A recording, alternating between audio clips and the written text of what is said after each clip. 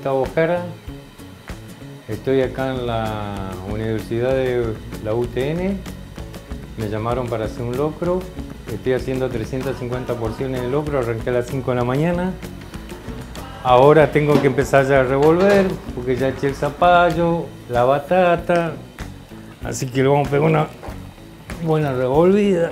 Acá estamos viendo las patitas de cerdo, como ven, ya está todo cortadito.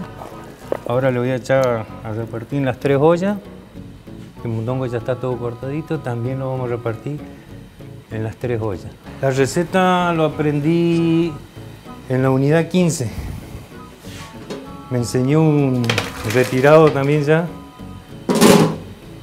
Y después yo la fui modificando y hice mi propia receta.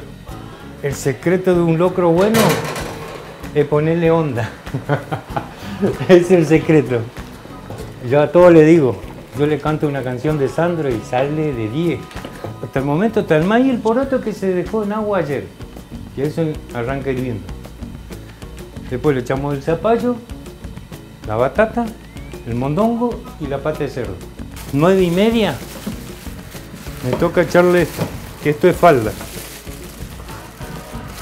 ¿Mm? Ya está cortadito todo, buena carne.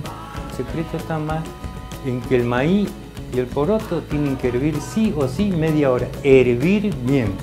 Después que hierve bien, ahí empieza a echar las cosas. Algunos hierven, empezó a hervir y que no se les queme. Es preferible muchas veces que se pegue abajo, no que se queme, se pegue. Cuando se pega es porque el maíz largó todo el almidón y eso le da un locro cremoso. Tiene que hervir más todavía, por eso le dejo una hora.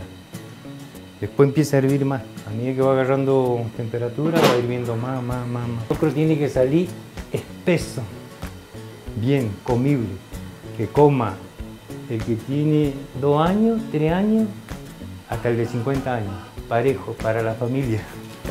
Un saludo para la Universidad de la UTN, acá de Río Gallego, y mi nombre es Gustavo Jara y estoy a su disposición y gracias por hacerme esta nota.